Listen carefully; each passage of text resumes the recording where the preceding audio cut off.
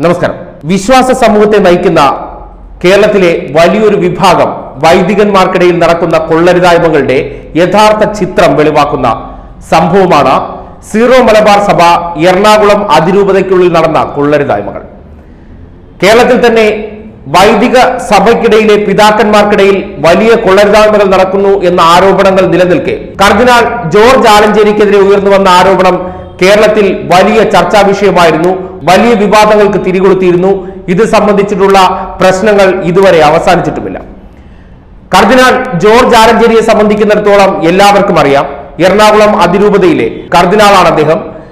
കൂടാതെ വിശ്വാസ സമൂഹങ്ങൾക്കിടയിൽ വലിയ സ്വാധീനമുള്ളൊരു പിതാവ് കൂടിയാണ് അദ്ദേഹം. അദ്ദേഹത്തിനെതിരെ ഒരു ആരോപണം ഉയർന്നു വന്നത് തന്നെ വിശ്വാസികൾക്കിടയിൽ വലിയ ഞെട്ടലുളവാക്കിയിരുന്നു കൂടാതെ കേരളത്തിലെ പൊതുവെയുള്ള വിശ്വാസ സമൂഹത്തിന് തന്നെ ഇത്തരം ആരോപണങ്ങൾ വലിയ തോതിൽ ഞെട്ടലുളവാക്കുകയും ഈ ഒരു സംഭവ വികാസത്തെ മുൻനിർത്തി ഇത്തരം മേഖലയിൽ നിൽക്കുന്നവരെ സംശയത്തിന്റെ ദൃഷ്ടിയിലൂടെ നോക്കേണ്ട ഒരു സാഹചര്യം പോലും ഉടലെടുത്തൊരു സംഭവമായിരുന്നു എറണാകുളത്തെ ഭൂമി ഇടപാടും. പിന്നാലെ വന്ന വ്യാജരേഖ ചമയ്ക്കൽ കേസും. ജോർജ് ആലഞ്ചേരിക്കെതിരെ ഉയർന്നു വന്ന ആരോപണങ്ങൾ എന്ന് പറയുന്നത് കേരളത്തെ സംബന്ധിക്കുന്നിടത്തോളം വലിയ ഞെട്ടലുളവാക്കുന്ന ഒരു സംഭവമെന്ന് പറയാൻ കാരണം അദ്ദേഹം നടത്തിയിരിക്കുന്ന ഇടപാടുകളെ സംബന്ധിച്ച് പുറത്തു വന്ന വിവരങ്ങൾ അത്രത്തോളം ആഴമേറിയതായിരുന്നു എന്നതാണ് ആദ്യഘട്ടത്തിൽ പുറത്തു വന്ന വാർത്ത. സഭയ്ക്ക് വലിയ നഷ്ടമുണ്ടാക്കി സഭയുടെ അധീനതയിലുള്ള ഭൂമി അദ്ദേഹം റിയൽ എസ്റ്റേറ്റ് മാഫിയക്ക് വിറ്റ് അദ്ദേഹവും വ്യക്തിപരമായി നേട്ടമുണ്ടാക്കി എന്നുള്ള ആരോപണങ്ങളാണ് പരക്കെ ഉയർന്നു വന്നത്. കോടിക്കണക്കിന് രൂപയുടെ നഷ്ടം ഇതിലൂടെ സഭയ്ക്ക് വന്നു ചേർന്നു എന്ന ആരോപണവും ശക്തമായിരുന്നു. എന്നാൽ ഇപ്പോൾ ഈ കേസിന്റെ വലിയൊരു വഴിത്തിരിവ് സംഭവിച്ചിരിക്കുകയാണ്. കേസുമായി ബന്ധപ്പെട്ട് അന്വേഷണം ഏറ്റവും അവസാന ഘട്ടത്തിലെത്തുമ്പോൾ കേസിൽ കുറ്റപത്രം സമർപ്പിക്കുന്ന സാഹചര്യത്തിലാണ് ജോർജ് ആലഞ്ചേരിക്കെതിരെ നടന്ന ഗൂഢാലോചന സംബന്ധിച്ച വലിയ വിവരങ്ങൾ പുറത്തു വരുന്നത്. ഗൂഢാലോചന എന്ന് പറഞ്ഞാൽ സാധാരണക്കാരൻ ഒരുപക്ഷെ സ്വപ്നം കാണാത്ത രീതിയിലുള്ള ഇടപെടലുകളാണ് വൈദിക സമൂഹത്തിനുള്ളിൽ നിന്നുണ്ടായിരിക്കുന്നത്. അത് കൃത്യമായി മനസ്സിലാക്കണം. ഒരു വൈദികനെ താഴെ ഇറക്കാൻ അല്ലെങ്കിൽ ഒരു വൈദികനെ അപമാനിക്കാൻ ഒരു വൈദികനെ ഇല്ലായ്മ ചെയ്യാൻ ഈ വൈദിക സമൂഹത്തിലെ തന്നെ മറ്റൊരു വിഭാഗം സംഘം ചേർന്നിട്ടുള്ള ഗൂഢാലോചനയുടെ ഇരയായിരുന്നു ജോർജ് ആലഞ്ചേരി എന്നുള്ളതാണ് ഇപ്പോൾ ഇത് സംബന്ധിച്ച് പുറത്തു വന്നിട്ടുള്ള വിശദമായ വിവരങ്ങൾ. പലതും സൃഷ്ടിച്ചതും അല്ലെങ്കിൽ കൃത്രിമമായി ഉണ്ടാക്കിയെടുത്ത് ഒരാളെ എങ്ങനെ ഇല്ലായ്മ ചെയ്യാൻ കഴിയുമെന്നത് സംബന്ധിച്ച് ഈ പിതാക്കന്മാർ നടത്തിയിരിക്കുന്ന ഇടപെടലുകൾ ഒരുപക്ഷെ മനസ്സിലാക്കിയാൽ ഈ മേഖലയിലാണല്ലോ ഇതെല്ലാം നടക്കുന്നു എന്നോർത്ത് ആശ്ചര്യപ്പെടാനല്ലാതെ സാധാരണക്കാരന് നിവർത്തിയില്ലാത്തൊരു അവസ്ഥയാണ്. നമ്മുടെ ഈ സമൂഹത്തെ പ്രത്യേകിച്ചും വിശ്വാസ സമൂഹത്തെ മുന്നോട്ട് നയിക്കുന്നതിൽ വലിയ നിർണായക സ്വാധീനമുള്ളവരാണ് സഭാപിതാക്കന്മാർ. സഭാപിതാക്കന്മാർക്കിടയിൽ സഭാ നടക്കുന്ന ഇത്തരം കൊള്ളരുതായ്മകൾ എന്ത് സന്ദേശമാണ് ഈ സമൂഹത്തിന് നൽകുന്നു എന്നുള്ള ചോദ്യം കൃത്യമായി ഈ വിഷയത്തിലൂടെ ഉയരുകയാണ്. വ്യാജരേഖ ചമയ്ക്കലായിക്കോട്ടെ ഒരാളെ ഇല്ലായ്മ ചെയ്യാൻ വേണ്ടി കൃത്രിമമായ ഗൂഢാലോചനയും അത് സംബന്ധിച്ച് ഒരാൾക്ക് ചിന്തിക്കാൻ പറ്റാത്ത രീതിയിലുള്ള ഇടപെടലുകളാണ് സഭയ്ക്കുള്ളിൽ നിന്ന് തന്നെ നടത്തിയിട്ടുള്ളത്. അപ്പോ ഇവരാണോ വിശ്വാസികളെ നേരായ വഴിയിൽ കൂടെ നടത്താനായി തയ്യാറാകുന്നത്? തങ്ങൾക്ക് ഇഷ്ടമില്ലാത്ത ഒരു പിതാവായിക്കോട്ടെ വൈദികനായിക്കോട്ടെ അയാളെ ഇല്ലായ്മ ചെയ്യാൻ മറ്റുള്ള വൈദികർ നടത്തുന്ന ഗൂഢാലോചന ആ വൈദികർ എന്ന് പറയുന്നത് ചെറിയ ആൾക്കാരൊന്നുമല്ല എറണാകുളം അതിരൂപതയുടെ വക്താവായ മാധ്യമ വക്താവായ പോൾ തേലക്കാട്ടിനെ സംബന്ധിച്ച് എല്ലാവർക്കും അറിയാവുന്ന ഒരു കാര്യമാണ്. സഭയെ സംബന്ധിച്ചുള്ള എന്ത് വിഷയങ്ങളിലും മാധ്യമങ്ങളിൽ ഉൾപ്പെടെ ചർച്ചയ്ക്ക് വന്നിരിക്കുന്ന ഒരു വ്യക്തിയായിരുന്നു പോൾ തേലക്കാട്ട്.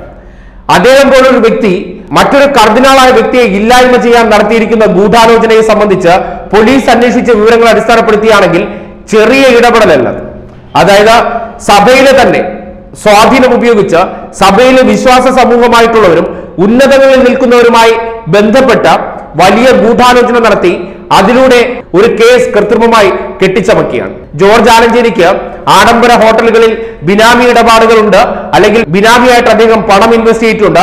പല ബാങ്കുകളിലും ഇദ്ദേഹത്തിന് ഇടപാടുകളുണ്ട് എന്ന തരത്തിലുള്ള പ്രചരണങ്ങളും അതിനെ സാധൂകരിക്കുന്ന രീതിയിൽ കൃത്രിമ തെളിവുകളും സൃഷ്ടിച്ചാണ് ജോർജ് ആലഞ്ചേരിയെ കുരുക്കിയിരുന്നത്.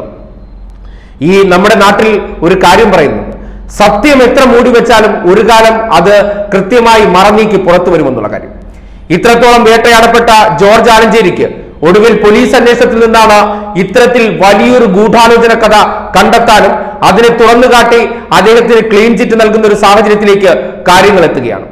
ആ പോൾ തേലക്കാട്ടും ഒപ്പം മൂന്ന് നാല് വൈദികരും കൂട്ടം ചേർന്നാണ് ഇത്തരത്തിലുള്ള ഒരു കുളരുതായ്മ സഭയ്ക്കുള്ളിൽ നടത്തിയിട്ടുള്ളത്. ഇത്തരം ആളുകളാണ് സഭയെ നയിക്കുന്ന വൈദികരായിട്ടുള്ളത് എന്നറിയുമ്പോൾ വിശ്വാസ സമൂഹം പോലും വളരെ അസ്വസ്ഥരാണ്.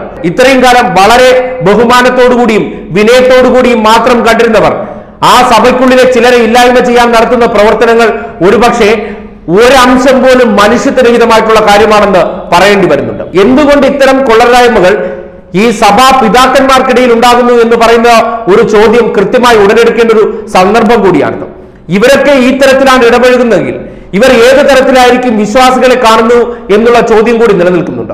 ഈ തരത്തിലുള്ള കൊള്ളരുതായ്മകളും ഈ തരത്തിലുള്ള വലിയ ഗൂഢാലോചനകൾ അത് ചെറിയ തരത്തിലല്ല കൃത്രിമ രേഖകൾ ഉണ്ടാക്കാനായിട്ട് അവർ കൂട്ടുപിടിച്ചിരിക്കുന്നത് വലിയ ഗ്രാഫിക് ഡിസൈനർമാർ ഉൾപ്പെടെയുള്ള വിശ്വാസ സമൂഹത്തിൽ നിന്നുള്ളവരെയാണ്. അവരെ കൂട്ടുപിടിച്ച് മറ്റൊരാൾക്കെതിരെ വ്യാജരേഖ ചമച്ച് അയാളെ കർദിനാൾ പദവിയിൽ നിന്ന് രാജിവെച്ച് പുറത്താക്കാൻ വേണ്ടിയുള്ള ഇടപെടലായിരുന്നു എന്നുള്ളതാണ് കണ്ടെത്തൽ. എന്തായാലും ഒരുപാട് നിയമ പോരാട്ടങ്ങൾക്കൊടുവിൽ ജോർജ് ആലഞ്ചേരിക്ക് തന്റെ മേൽ ചാർത്തപ്പെട്ട കളങ്കത്തിൽ നിന്ന് ഒരു പരിധിവരെ രക്ഷപ്പെടാൻ സാഹചര്യം ഒരുങ്ങിയിട്ടുണ്ട്. അല്ലെങ്കിൽ ചെയ്യാത്തതും അറിയാത്തതുമായ ഒരു തെറ്റിന് ക്രൂശിക്കപ്പെടുകയും വളരെയധികം സാമൂഹിക വിമർശനങ്ങൾ ഏൽക്കുകയും പോരാത്തതിന് വിശ്വാസികൾ പോലും വളരെ അവജ്ഞയോടെ തള്ളിക്കളയുന്ന ഒരു സാഹചര്യം കൂടി ജോർജ് ആലഞ്ചേരി നേരിടേണ്ടി വന്നു. വലിയ അധിക്ഷേപങ്ങളും ഇതിന്റെ പേരിൽ അദ്ദേഹം കേൾക്കേണ്ടി വന്നിട്ടുണ്ട്. എന്നിരുന്നാൽ കൂടിയും അദ്ദേഹത്തിന്റെ ഒരു സത്യസന്ധത അല്ലെങ്കിൽ അദ്ദേഹം ഈ വിഷയത്തിൽ പുലർത്തിയിരുന്ന ഒരു നീതിയും സത്യസന്ധതയുമെല്ലാം ഒരു നിശ്ചിത കാലഘട്ടം കഴിയുമ്പോൾ പോലീസ് യാഥാർത്ഥ്യപൂർണമായി പുറത്തേക്ക് കൊണ്ടുവരുമ്പോൾ ഈ മേഖലയിലുള്ള ചിലരുടെ കപട മുഖങ്ങൾ കൂടി അഴിഞ്ഞു വീഴുകയാണ്. വിശ്വാസികൾക്ക് മുന്നിൽ വെള്ള വസ്ത്രം ധരിച്ചെത്തുന്ന ഇവരിൽ കുറേയേറെ പേർ കപടന്മാരുണ്ട് എന്നുള്ള യാഥാർത്ഥ്യം കൂടി തുറന്നു കാട്ടപ്പെടുകയാണ്.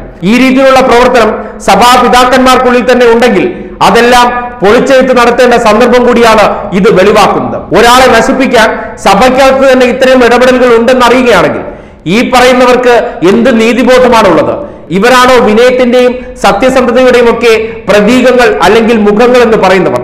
ഇവരാണോ ദൈവത്തെ ശുശ്രൂഷിക്കുന്നവർ? ഇത്തരം പ്രവർത്തനങ്ങൾ നടത്തുന്നവരെ വിശ്വാസികൾ തന്നെ ഒറ്റപ്പെടുത്തേണ്ടതുണ്ട്. എന്തിന്റെ പേരിലാണെങ്കിലും അല്ലെങ്കിൽ അധികാരമോഹത്തിന്റെ പേരിലാണെങ്കിൽ പോലും ഒരാളെ ഇല്ലായ്മ ചെയ്തുകൊണ്ട് വളരാൻ ആഗ്രഹിക്കുന്നവരുണ്ടെങ്കിൽ അവർ എവിടെയാണോ നിലകൊള്ളുന്നത് അവർ അതിനെ നശിപ്പിച്ചേ കടന്നു പോകൂ എന്നുള്ള കാര്യത്തിൽ യാതൊരു തർക്കവുമില്ല. ഒരു വ്യക്തിയെ ഇല്ലാതാക്കാൻ നോക്കി അതിലൂടെ സഭയെ കൂടി കളങ്കപ്പെടുത്തുന്ന ഒരു സാഹചര്യമാണ് മൂന്ന് വൈദികന്മാർ ചേർന്ന് എറണാകുളം അതിരൂപതയിൽ ചെയ്തു കൂട്ടിയിരിക്കുന്നത്. എന്തായാലും വിശ്വാസ സമൂഹത്തിന് ജോർജ് ആലഞ്ചേരിയിൽ നഷ്ടപ്പെട്ടു പോയ വിശ്വാസം ഒരുപക്ഷെ അദ്ദേഹം നീതിമാനായിരുന്നു അല്ലെങ്കിൽ പ്രവൃത്തി കൊണ്ടും സംസാരം കൊണ്ടും എപ്പോഴും ജനങ്ങളെ സ്വാധീനിച്ചിരുന്ന ആ മനുഷ്യൻ ഇപ്പോൾ ശരിയുടെ പക്ഷത്ത് തന്നെയായിരുന്നു എന്ന് ഉറപ്പിക്കുന്ന കേസ് ഡയറിയാണ് അല്ലെങ്കിൽ കേസിന്റെ വിശദാംശങ്ങളാണ് പുറത്തു വരുന്നത് സത്യത്തെ എക്കാലവും മൂടിവെക്കാൻ കഴിയില്ല എന്ന് പറയുന്നതിന്റെ ആപ്തവാക്യം വളരെ കൃത്യമായി വെളിവാകുന്ന ഒരു സന്ദർഭം കൂടിയാകുന്നു ജോർജ് ആലഞ്ചേരിയുടെ ഈ സംഭവമെന്നും പറയാതിരിക്കാൻ നിവൃത്തിയില്ല.